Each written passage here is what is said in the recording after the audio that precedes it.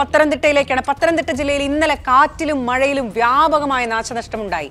പന്തളത്ത് വീശിയടിച്ച ചുഴലിക്കാറ്റിൽ നിരവധി പോസ്റ്റുകളും മരങ്ങളും വീണു. പമ്പയിൽ ജലനിരപ്പ് ഉയർന്നതോടെ അരയാഞ്ഞിലിമൺ കോസ്വേ മുങ്ങി. അവിടെ നിന്ന് കൃഷ്ണമോഹൻ തയ്യാറാക്കിയ റിപ്പോർട്ട്. പത്തനംതിട്ട ജില്ലയിൽ ഇന്നലെ വ്യാപകമായി കാറ്റും മഴയും ഉണ്ടായിരുന്നു. ശക്തമായ മഴയ്ക്കൊപ്പം കാറ്റിൽ ഇതേപോലെ മരങ്ങളും പോസ്റ്റുകളും ഒക്കെ ഒടിഞ്ഞു വീഴുന്ന സാഹചര്യം ഉണ്ടായി. ഞാനിപ്പോൾ ഉള്ളത് പന്തളത്താണ്.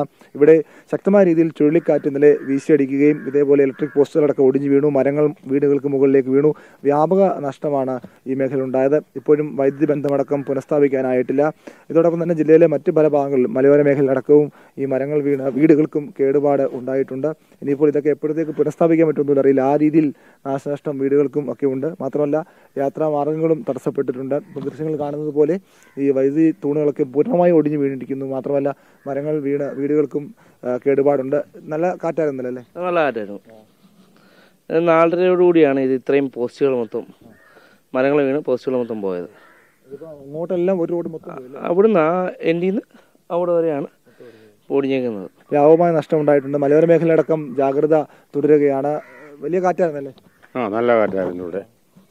ഇവിടെ മരമൊക്കെ വീണ് ആകെ റോഡ് ബ്ലോക്ക് ബ്ലോക്കായിരിക്കുക. ഒരുപാട് നാശനഷ്ടങ്ങൾ ഉണ്ടായിട്ടുണ്ട് ഈ ഈ പ്രദേശത്ത് മാത്രമല്ല തൊട്ടടുത്ത മന്നം ആയുർവേദ കോളേജിലേക്ക് പോകുന്ന റോഡിനോട് സമീപമുള്ള പ്രദേശങ്ങളിലും പിന്നെ മെഡിക്കൽ മിഷൻ ഭാഗത്തും ഈ ആക്കിനാട്ട് തുണ്ടിൽ എച്ചിവിളക്കാവ് ഈ പ്രദേശത്തും നല്ല രീതിയിലുള്ള നാശനഷ്ടങ്ങളാണ് ഉണ്ടായിരിക്കുന്നത്. ഒട്ടനവധി മരങ്ങൾ ഒടിഞ്ഞു വീണ് പല വീടുകൾക്കും കേടുപാടുകൾ സംഭവിച്ചിട്ടുണ്ട്. നദികളിലെ ജലനിരപ്പും ചെറിയ ഉയർന്നിട്ടുണ്ട്. പമ്പയിലടക്കം അതുകൊണ്ട് ജാഗ്രതാ നിർദ്ദേശം ജില്ലാ ഭരണകൂടം പുറപ്പെടുവിക്കുന്നു. നിലവിൽ മറ്റ് നിയന്ത്രണങ്ങളൊന്നും ഏർപ്പെടുത്തിയിട്ടില്ല. എങ്കിൽ പോലും താഴ്ന്ന പ്രദേശങ്ങൾ പ്രത്യേകിച്ച് ഈ അരാഞ്ഞലി മൺ കോസ്വേ പോലുള്ളവയൊക്കെ മുങ്ങിയിട്ടുണ്ട്. അവിടങ്ങളിലൊക്കെയും ആളുകൾ ഇപ്പോൾ ഒറ്റപ്പെട്ടൊരു സാഹചര്യത്തിലാണ്. എന്തായാലും മഴ ഇപ്പോൾ രാവിലെ മാറി നിൽക്കുന്നു. പക്ഷേ ഉച്ചയ്ക്ക് ശേഷം വീണ്ടും മഴ ശക്തമായാൽ ജില്ലയിലും കാര്യങ്ങൾ കുറച്ചുകൂടി സാഹചര്യം മോശമാകും. പത്തനംതിട്ടയിൽ നിന്ന് പ്രസാദ് വെട്ടിപ്പുറത്തിനൊപ്പം കൃഷ്ണമോഹൻ ഏഷ്യാനെറ്റ് ന്യൂസ്